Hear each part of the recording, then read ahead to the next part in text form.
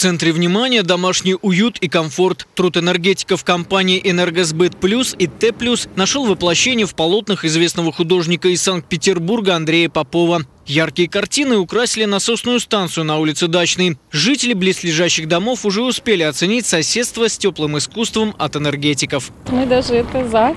Нам это больше нравится, потому что мы живем рядом и наблюдаем вечно всякие разрисованные каракули непонятно. А это, по крайней мере, так искусство такое, нам очень нравится. Ну, очень красиво, забавно было. Просто такие пошарпанные стены, и сейчас это очень даже замечательно.